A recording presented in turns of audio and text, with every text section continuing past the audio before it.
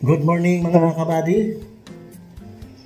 Today is uh, April 27. Of course, 2023. So ngayon mga kabady, gagawa tayo ng desk sander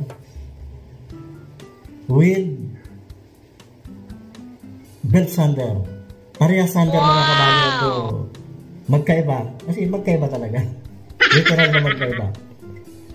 So ito yung ano, parang 2 in 1 mga kabady. Uh, this sander sa baba, belt sander sa taas. Sa isang unit lang. Isang unit lang mga kabady. Pagsamahin natin. Okay. So, let's start.